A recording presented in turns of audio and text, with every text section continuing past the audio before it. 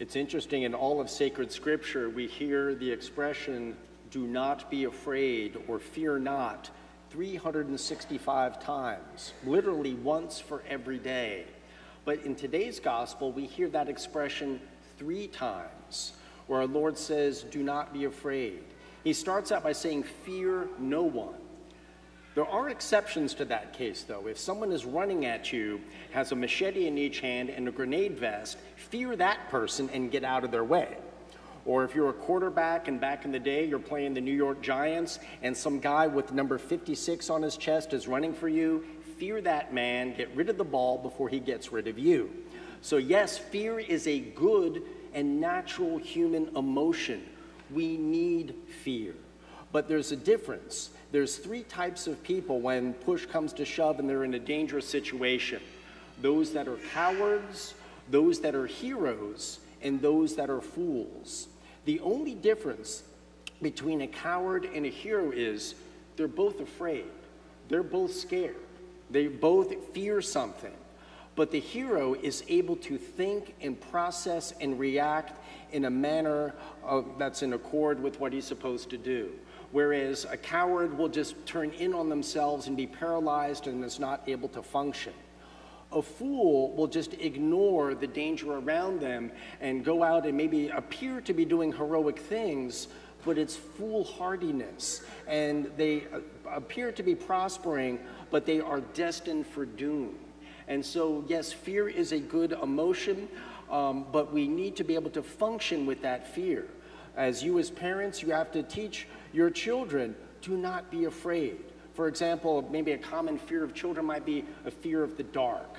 You know, when you turn the lights out, they're afraid of, I don't know, Dean Smith is under their bed or something, or some little goblins in the closet. And you have to tell them that those are unfounded fears. But then when your daughter is 18, you got to tell her, be afraid of the dark. Don't go to downtown Raleigh at 2 a.m. Nothing good is going to happen. And so we have to instill in our children always what are reasonable fears and what are things that are just artificially made. One of the best ways to um, ask ourselves if whether we have anxiety about or something that is fearful is walk through our columbarium and just read the names on the plaques there or go to a cemetery. For example, Oakwood Cemetery is a very beautiful cemetery here in Raleigh, very historic. There's a, a section where there was Civil War dead buried. And then there's all sorts of veterans and famous people and everything there. And don't just go there for exercise walking on the trails, but walk amongst the graves. Read those dates on there. And what would those, our brothers and sisters who have gone before us, what would they tell us?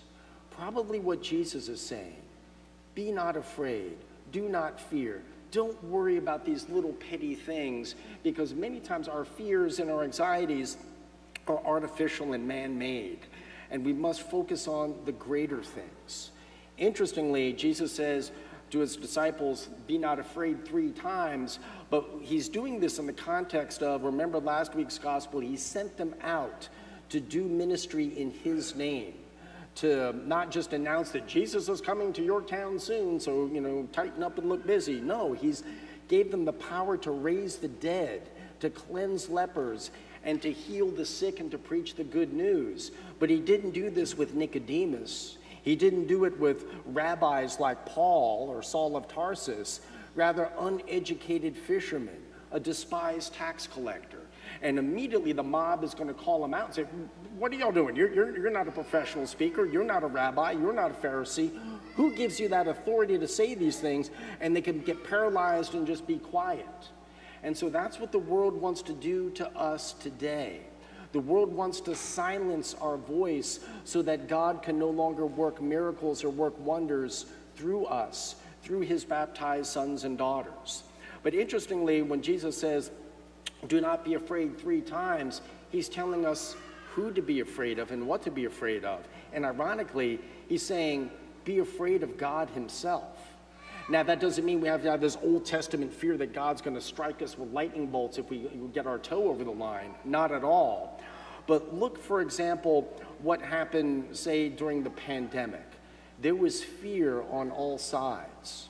There was fear. We had to stay away from each other. We had to close down and everything like that. We had to, you know, just do all of these things and distance and wear masks and everything. And then uh, once the vaccine came out, there was this fear that if not everyone's vaccinated, we're going to get sick and we're all going to die. And then there was that uh, fear on the other side about getting the vaccine and this and that. There could be, you know, complications or something. There was all of this fear. But what Jesus is saying is reminding us that our body, all of us, 98% of us are going to die at some point, unless we're like Elijah or Enoch and go straight up, you know. So most of us are going to die at some point. But we need to be more focused on the soul we need to be focused on the eternal soul. And many times we'll do things, you know, to protect our bodies. We'll exercise, we'll eat right, we'll take medicines, and especially if we find out we have some sort of, you know, terminal disease or some something, we will even amputate body parts if need be so that we can extend our life or have a better quality of life. But rarely do we think about our eternal soul. And that's what Jesus says we need to focus on not about the body, which is temporal, but what we do with our souls. That's the thing that we need to be more concerned about. And so every time we receive Holy Communion, our Lord is basically wants to calm the storms that are within us, to settle that anxiety. But even Jesus had his own anxieties and fears, if you will. Remember the night before he died. He was in bitter anguish. He had just celebrated the Last Supper, washed the feet of his apostles, and then he takes along with him Peter, James, and John and tells them, I feel an anxiety, a stress to the point of death. And he begged them to pray with him. And he was praying so intensely that sweat was dropping on the ground as thick as drops of blood. Because he knew the next day that he was going to have every sin ever to be committed laid before his eyes, mind, and laid upon him. And that was just something that was overwhelming for him. But he knew that it was going to also be a temporary thing. But he needed the support of his loved ones, and they just couldn't do it. They were focusing on themselves, and they kept falling asleep, and he kept wake, waking them up, begging them to keep watch with him. And so, anxiety and fear is a natural part of our existence, but we cannot be in a state of paralysis where we don't do the heroic things as God calls us to do. And that's the difference between the saints. The saints are the ones who made a difference in their day and age, particularly the martyrs. They would prefer to give up their lives and die because of the words of what Jesus said says, God knows what you're going through. Aren't you more valuable and precious than two sparrows that are sold for a small coin? And many times we can have this self loathing or lack of uh, love for ourselves or respect for ourselves that we can think that not even God can love me, not even God can forgive me for what we do. There is nothing more precious than you in God's mind. He would have sent his son into the world just for you, just to die for you. And he wants us to do the same at some level to die on our human level, to lay that down in the service of others.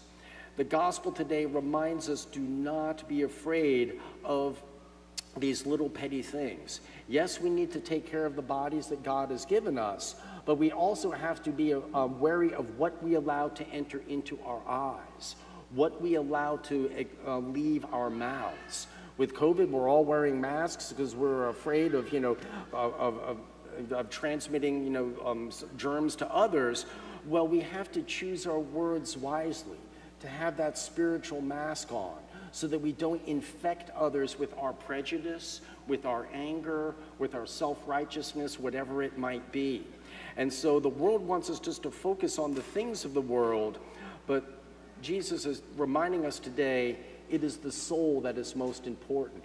And we must fear not that our, eternal punishment are going to hell, but rather we must fear doing things that might damage other souls, things that will disappoint God in what we do.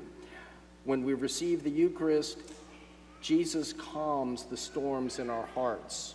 Remember when he was on the Sea of Galilee that one day, and all of a sudden this huge storm whipped up and he's with the apostles.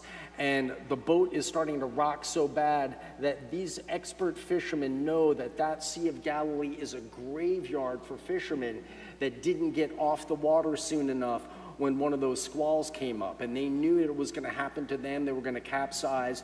And they woke him up saying, Lord. They didn't say, Save us, Lord. They said, Don't you care that we're about to perish? Like they're informing God of something he didn't know. He was fast asleep because he knew that the Father didn't send him into the world to drown in the Sea of Galilee that day for the salvation of mankind, but rather several weeks or moments later to die on the cross in Jerusalem for the salvation of the world. And with a, with a word, he calmed that storm. And instantly, the water became like glass. Over there in that little relic box by the cry room, uh, we have a little bottle of water from the Sea of Galilee. And when you look at it and, and stand in front of it, it is perfectly still. It is just absolutely calm and still. But if there was to be like a severe earthquake here in Raleigh, all of a sudden that water is going to start to stir up and everything as a natural element is going to do, and it might even fall off its little pedestal. But once the earthquake stops, it's going to be still again. And that's what our Lord does with us. He doesn't protect us, He doesn't make it so that we're Christians. You're never going to have a storm in your life. You're never going to have a disease. You're only going to have prosperity. You're only going to have good things happen to you. That's what some religions teach their believers. Well, if there's something bad befell you, that means God is punishing you. Whatever that we're going through that we think is something bad or that God is somehow punishing us or cursing us, we have already signed up for that because He never violates our free will. At some level, He asks us, Will you bear this suffering for my glory? You don't understand it now, but will you bear this particular illness or suffering or indignation because it will cause the salvation of many, many more souls? Or would you rather have it go to one of your children or to someone else that you love? And we would say, no, let me take it in three times on Tuesday. And so God gives us that grace to bear whatever storms are going to be in our lives, but Jesus is always at our side. 365 times in Scripture we hear, be not afraid. We hear it three times today. Does that mean we don't, I'm not going to hear it, you know, tomorrow or Tuesday because we bunched it up, bundled it up today? It is to remind us, like a flashing neon sign, many of the things that we're fearful of are not worthy of our attention. It is something that we literally need to just sleep through because we must put this to the litmus test. 50 years from now, is any of this going to matter? Some things do. If we don't are not attentive to the souls, the care of the souls of our children, our godchildren, or those around us, that has eternal ramifications. And that's something that we need to be concerned about. But we are not the Savior of the world. Jesus Christ is. But He uses us to be His hands of healing, He uses us to be His voice of reason. We cannot be cowards and just hunker down and be fearful of what the mob might do to us but rather we must be heroic, meaning heroes are also afraid, they also know the ramifications, they are not foolhardy. But the one thing, the difference between the fool and the hero is the hero has wisdom. And that's another thing that we need to pray for. Because there might be a situation where you could do something heroic, but you're going to not survive the moment, and so you just need to stay where you are. We must pray to the Holy Spirit constantly for that gift of wisdom, to know what to do and when to do it. When will the person that'll be on the receiving end of it be open and receiving of that? And also what not to say. Remember that Jesus was silent, radio silent in the presence of Herod, who was a very, very sinful leader, because he knew that it's just not going to be worth it. And if I open my mouth, he's going to use my words and twist them and use it for some sort of propaganda. But in the presence of Pilate, Jesus said a lot of things. He said a lot of things because he knew that Pilate was on the fence. Pilate wanted to be a believer, but he was afraid of the mob. And the mob eventually said to him, If you don't crucify him, you're not a friend of Caesar. And he caved into that. And so there's three types of people cowards, fools, and heroes. God is calling all of us to be heroes, but we must also know and have that wisdom when to say something or do something, but perhaps more importantly, when not to say something and when not to do something.